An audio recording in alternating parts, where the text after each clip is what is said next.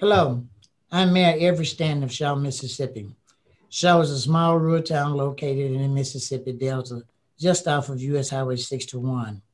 We have made several contributions to local, state, and national history that we are very proud of. But the one we are honoring with this award is Hawkins versus the town of Shaw.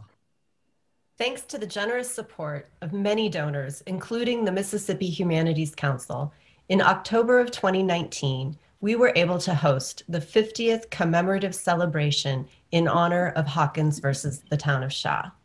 The commemoration included a pop up museum, the renaming of US Highway 61 within the city limits of Shaw to the Andrew and Mary Lou Hawkins Memorial Highway, a reunion for members of the Shaw Civil Rights Movement, and a live theatrical play titled Wade Through the Waters that I co wrote with Ms. Aaliyah Wright.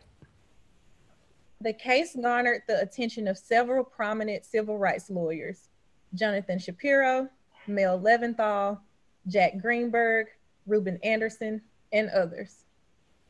The precedents set by Hawkins versus Town of Shaw allowed it to become the template for successful municipal services equalization cases. It became a major part of Hood. Hawkins versus Town of Shaw is used in law school around the country.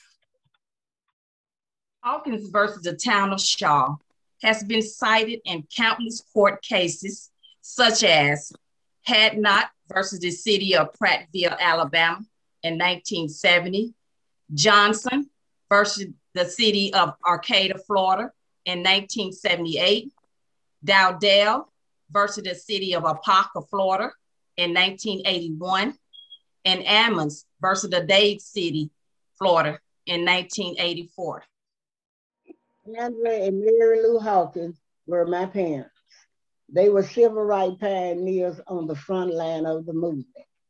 Hawkins versus the city of Shaw was a class action lawsuit in 1969 to equalize the municipal service and infrastructure between black and white neighborhoods. The case went all the way to the US Supreme Court.